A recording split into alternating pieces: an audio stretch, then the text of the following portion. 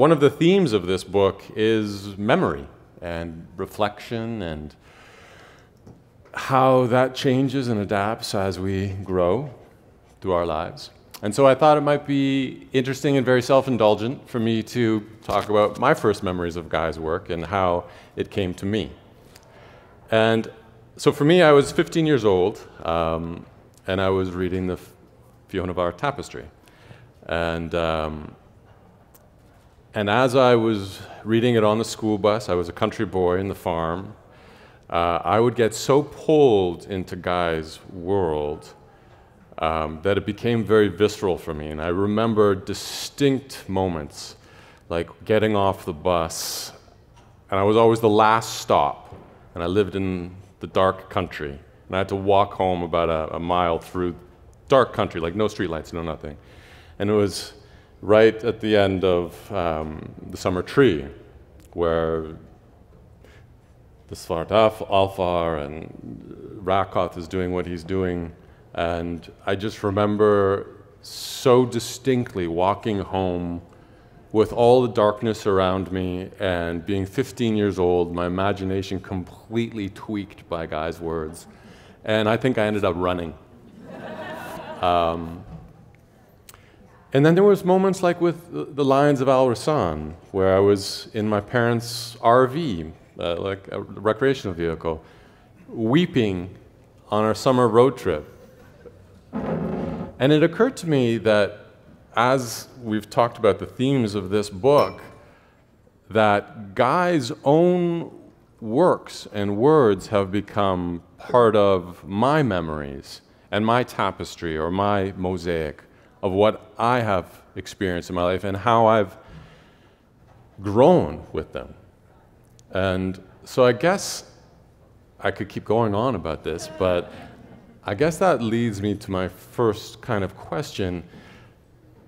I'm sure you are conscious of it. So when did that consciousness come of intertwining these stories through their own history of your books? They're, they're not, your books aren't a saga.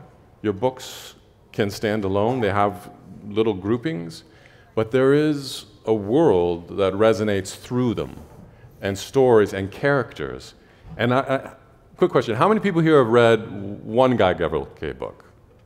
Many Guy Gavriel Kay books. All Guy Gavriel Kay books. All right, great. so you all know that feeling when you're reading it and you're like, oh my, that's, that's that person from, wait, is that, could it be? And you get that excitement, that, that resonance, which is one of the gifts of your storytelling. So when did that start manifesting for you? The first of all, thank you.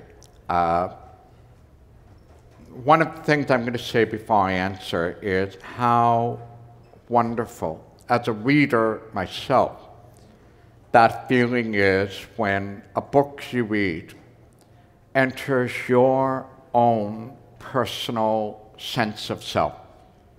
When the books aren't just a distraction, a diversion, uh, a beach read, an airplane read, but they become part of the map of how we deal with the world. And I think every serious writer I know is trying to write the books that they would enjoy reading if somebody else wrote them. And so, because of that aspiration as a reader, because I want that to happen to me, I'm trying to give that degree of engagement mm-hmm. for readers. Now, on the interweaving and intertwining, I'm going to give you a hard time. Because, no, not quite that. I'm going to give a, I'm going to give a difficult answer. The answer is that I have never seen the books as shaping or constituting a single grand unified field construct that they are individual stories. I have, for many of them, not all of them, stayed with the same near Europe in which many take place, including A Brightness Long Ago. And that is, frankly, because I'm not a complete idiot.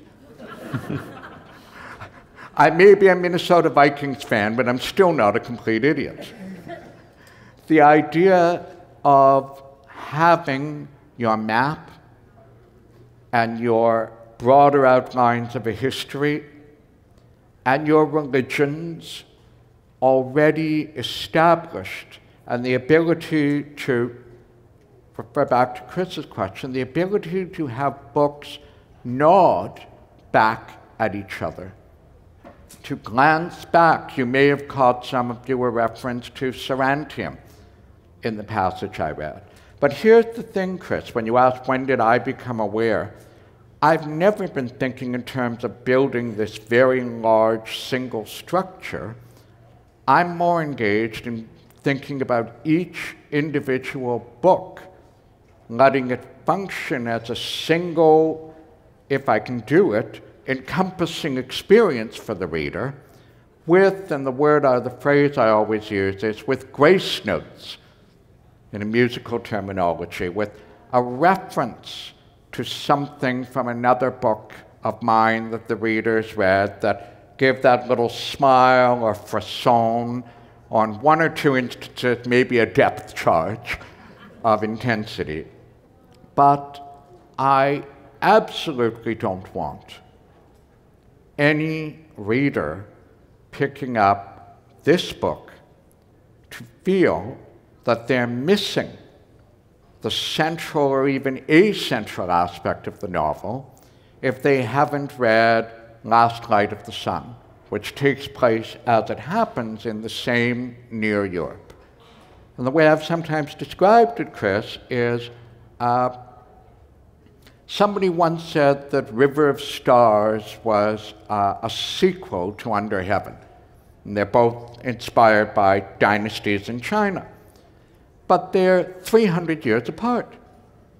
So it's like calling a novel about Victorian England a sequel to a novel about the 17th century. They're 300 years apart. They're both in England, but the two settings and the two frameworks are independent. So I'm more hung up than you might imagine on letting each book stand for itself, speak for itself. So further to that, why history? Why not the future? Why, why did you choose this? You know, you have this nice sort of that goes back area. to my teenage years. That mm-hmm. goes back to the first books that obsessed me as a reader, the first nonfiction I started to read in detail. I can give you all of the quotes that many of you will know. Uh, those who cannot remember the past are condemned to repeat it. I love the comment that if we do not know our own history, we are endlessly children in our own lives. If we don't know the past of our culture and other cultures, we're thin on the ground, we're shallow in our ability to assess mm-hmm. what's happening to us and to our society. So history has been an obsession from the very beginning. Mm-hmm. One of the things I like to do is, and it's very much a part of this novel, is pair personal history, an individual's sense of their own life, the stories we tell ourselves about how and why we are what we are, the narratives we've constructed of our memories, that personal history also for me pairs with a culture sense of its history. What's the history of Canada? Well, it's disputed ground right now. It's ferociously contested ground with differing views of the significance or the greatness and the malevolence of many figures. What's the history of Europe?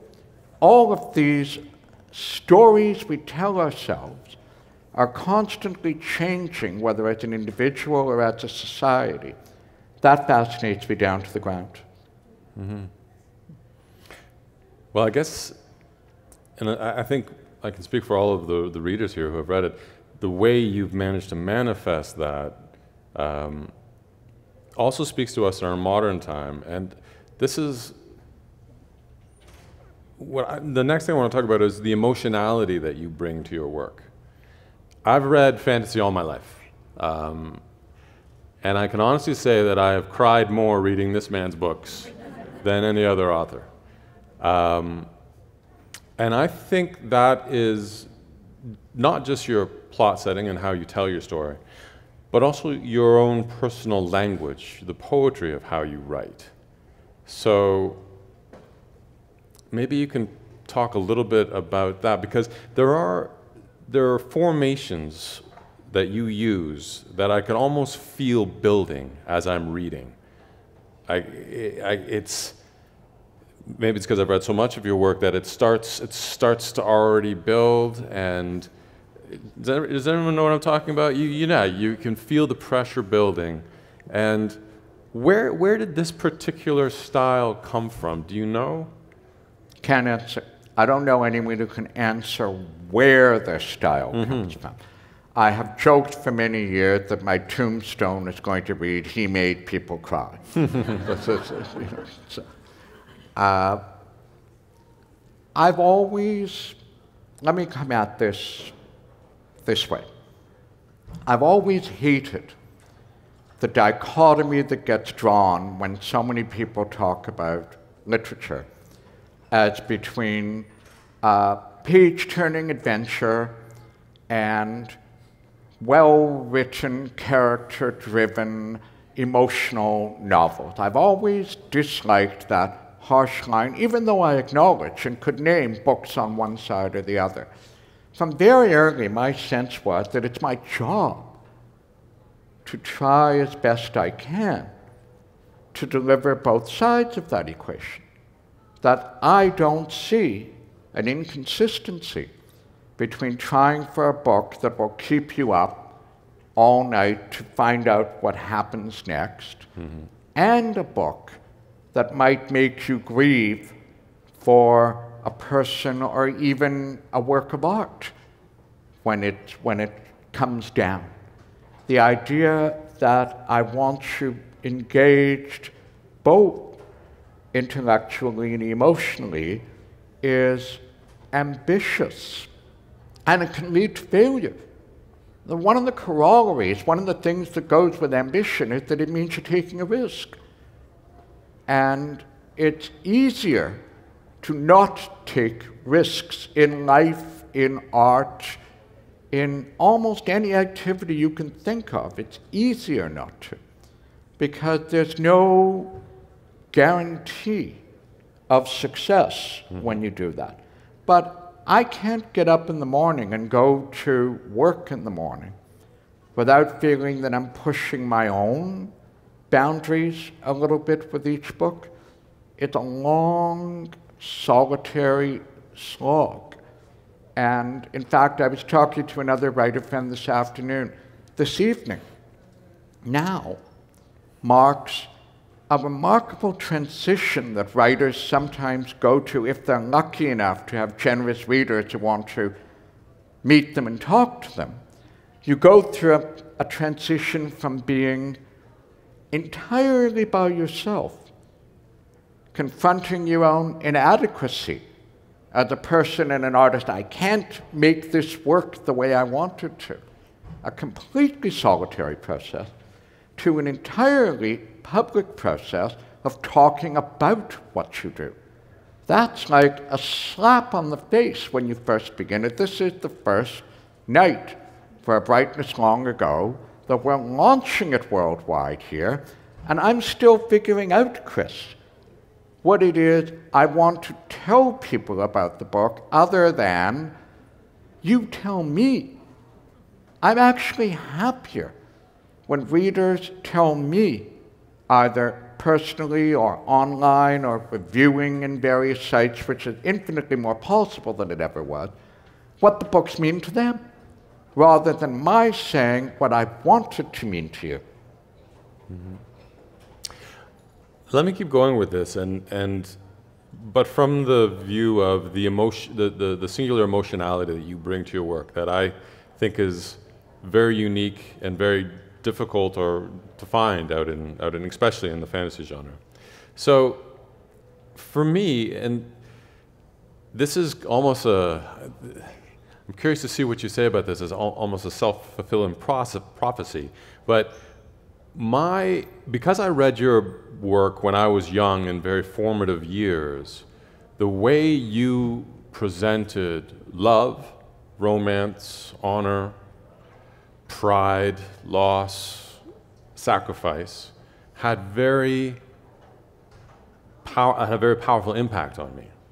And I carried that with me, and it educated me on how I wanted to be. I remember the song of Arbonne, and the, the, the, the two men, and I, sorry, I can't remember their names right now.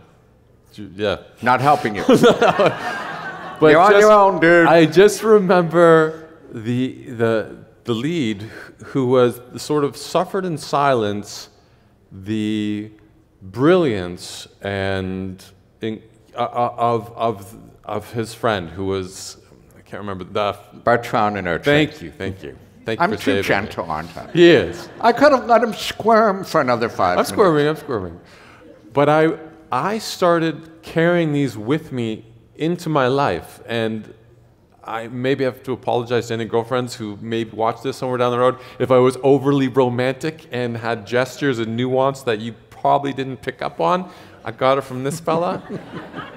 but I know where that came from from me. And it was it was these your books, your stories. And it has educated me in a beautiful way as I've gone on with my relationships and even as I raise my son and I talk to him about gentleness and and you know and, and we as we're he's 11 so we're we're just getting there okay as we're, we're exploring these themes so i'm aware where it came from for me but where did it come from for you that you where where, where did this sense of romance and your desire to tell these kind of stories come from Well, there's a couple of different things embedded in what you're saying. First of all, that's a lovely thing to hear. It's, it's, it's a remarkable thing to hear. The idea of uh, drama and romance and intensity came from my love of reading, books that embodied those. I was a reader from four or five years old, and I was just omnivorously devouring these stories. The idea that, this is the other half of what you brought up, uh, respect for people, honor, the fact that the world can be hellish and miserable, but not everyone in it is hellish and miserable. The fact that there are individual choices, decisions, commitments we may make to resist the hellishness of the time the story set in, and then by extension, the time we're living in. These are things that matter to me. I think that there's a, a vogue today in certain treatments of history and the fantastic, even contemporary fiction, that stresses the hellish miserability. You actually heard me say that. the hellish miserability, and I'm copywriting that one wow of the way things were and the way things are, and that it's more realistic to show how vicious and savage people are to each other. And they are. And if you've read me, you're going to have seen them being that way to each other. But this ties in with what I said before about not accepting the either or of things. Maybe that's central to how I, I look at things. Maybe you, you're steering. I haven't thought this through. But the idea that we so patly, simplistically say, well, it's either this or that, and I'm someone who's inclined to say, why can't it be both? Why can't we show the violence and anger of a society and some people setting themselves against that? And by the way, that's absolutely embedded in any understanding of the Renaissance that we have our image of Michelangelo and Da Vinci and Raphael, and we have the cathedrals, and we have the glittering sophistication, and we've got some savagely brutal warfare. And in that savagely brutal warfare, it's in here. Who were the casualties 95% of the time? They're not the aristocrats hiring the armies. They're not the leaders of the armies. They're not even most of the time the soldiers in the armies unless they got dysentery, and I don't mean that flippantly. Disease killed far more people in warfare situations than the actual war did. The victims were the farmers whose fields were trampled by horses, whose crops were raided by armies, because the armies lived on the land. They lived on what they gleaned as they went through, and they were paid by rape and pillage. That's how they were sustained. That's how you kept your army. So, that idea of trying to show both the ugliness and the honor and glory and redemption and hope that are, for me, part of existence had been running through all of the books, and in some way, the setting of this one was a natural for what I like to do. So let's talk a little bit about choice, the power of choice as a character um, versus fate. There's a, a, brilliant quote by an amazing writer. Maybe you'll recognize it. It goes something like this There are no wrong turnings only paths we had not known we were meant to take. You're having so much fun, aren't you? um, so let's talk about that. Your, your opinion of personal choice versus fate. And uh, I, I, know you use it in the books, but maybe you can talk about both within the well, books and for yourself. That's again, we're back to the dichotomy thing, right? Our choice or random chance or destiny. We're back to some people saying either or, and I'm sitting here saying, why not all? Why not a mixture? Why not some moments in our life that are absolutely our choice, and some moments in our life where we happen to linger in a hallway two or three minutes longer than we normally would have, and our life has changed by having stayed in that hallway for two or three minutes. That engages me again as showing the tension and flux mm-hmm. between how our lives play out.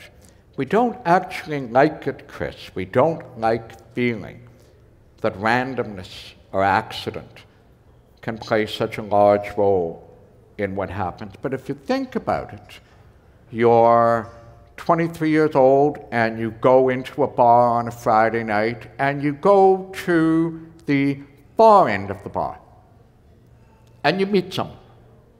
And you meet someone and you end up raising a family with that person for the next 30 years. And if you've gone into the near end of the crowded bar, you don't meet that person. Now, you will have a life you will meet someone else with luck, but you don't have that life because you walk to the far end of the bar. And that's embedded in our existence. At the same time, something happens, something that puts you on the spot, whether you are dealing with the American or Canadian elections this year and next, whether you are in Vichy, France, and have to make moral choices about collaborating or resisting, whether you do something bad because your children are starving, we're always actually making choices as well. So I like writing in a way that lets the reader think about how both of these things come mm-hmm. up for us. And I think we all feel that when we read it. Um, I think that a lot of that dichotomy or that balance that you've strived to create is, and I'm going back to my own personal experience again, is, is in many ways informed me through, through, because uh, I read it at such an early time, of the balance between like God, not God, religion, not religion, experience, choice. And, but what I always liked about what you do is the mysticalness that you bring to your work. And that's that, and I know it's been the, the quarter turn to fantasy that people talk about your work. And I've always loved that because it allows you, us to believe in the magic which can also be in the spirit, in the possibilities, in all of, in the things that are outside of the tangible. And I think that that, that tightrope that you've been walking with, trying to create that in your books, is, anyway, for me, it's really paid off in terms of me being able to pretend I'm a Viking or a werewolf or whatever. Anyway, I digress. Um, Kris, let me, let me pick up on that because there's something really interesting in this. So, a number of years ago, I'm reading a biography of Gabriel Garcia Marquez. And the biographer says we need a working definition of magic realism. And I had always been saying for years that magic realism is a genre where a literary person is reading a fantasy and likes it. and wants to attach a better label that makes him or her feel better about their liking it. But the definition of magic realism that was offered in the biography of Marquez is the novel presents the world as the characters in the book believe it to be, without any sense that the writer finds it quaint or amusing. And I read this I said, My God, I've been doing this for 20 years. you know, it's the idea of the spiritual or the supernatural, the fantastical. If I'm presenting you 6th century Byzantium or Alfred the Great and the Anglo Saxons and the Vikings and the Celts, one of the ways I draw you in, you were talking about being drawn in, one of the ways I think I can draw you in is by making the world be as the people in the story understood it. So if they think that there are fairies in the woods to the west of Wessex or whatever equivalent, I will put them there. If people thought that cursed tablets and graves in 6th century Byzantium would become valid and real, they would work if you threw it in an open grave before the grave was covered up. I will do that. And one of the things that does, along with your feeling that you are immersed in the setting, mm. one of the other things it does that I really like, if I do it right, is it removes our 21st century sense of superiority, of smugness. They were so strange what they believed back then. They thought in ancient China that if you didn't bury someone after they died, their ghost would live forever as a ghost in the spot where they died until the bones were buried. Isn't that charming? Well, no, it's not. Or it's not if you're doing a story about those people and you want the reader to empathize with and engage with and be consumed by those people. You make it real. It's how I've been operating for over 20 years with a view to trying to bring you in by doing it that way. Well, I think that's one of the great alchemies that's working within your books because, yes, we do get caught in our modern world of our screens and we get so disconnected from, from nature in, in so many of its manifestations. And who's to say that the spirit realm was or wasn't different back then? The electromagnetic energy may be playing with our minds and, you know, yada, yada, yada. We, all of our sci fi fantasy people were just loving this stuff, right? But honestly, the, that alchemy that you brought to that allowed me to connect with the spirit world or the spiritual, the magic. And I use magic in a very broad terms. I don't mean like fireballs.